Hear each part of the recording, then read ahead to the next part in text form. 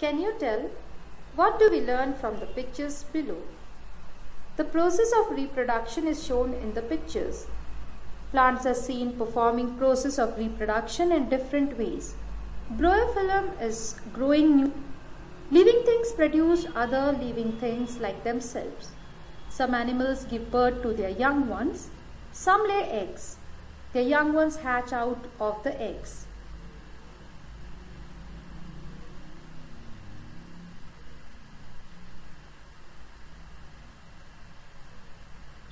New plants are produced from the seeds, stems or leaves of plants.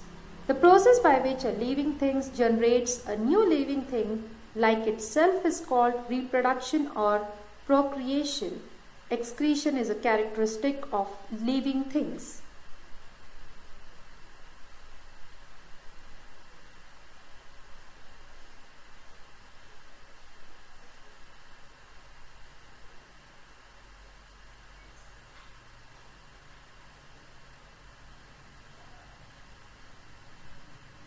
Your brain power.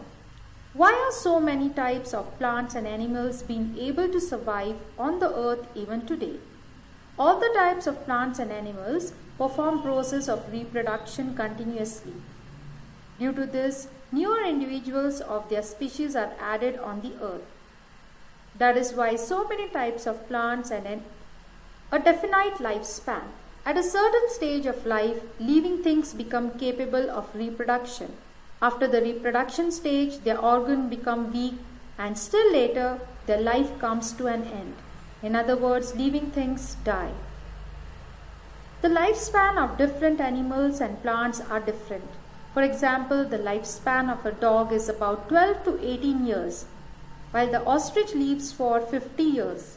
You may have, do you know, the lifespan of the giant turtle found on the Galapagos Island in South America is about 170 years.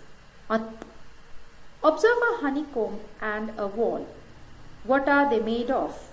You may have seen the small compartments of the honeycomb. A wall has bricks. To construct a wall, we firmly a cellular structure. Some living things are made of single cell. These are called on the other hand, the living things that are made of many cells are called multicellular organism.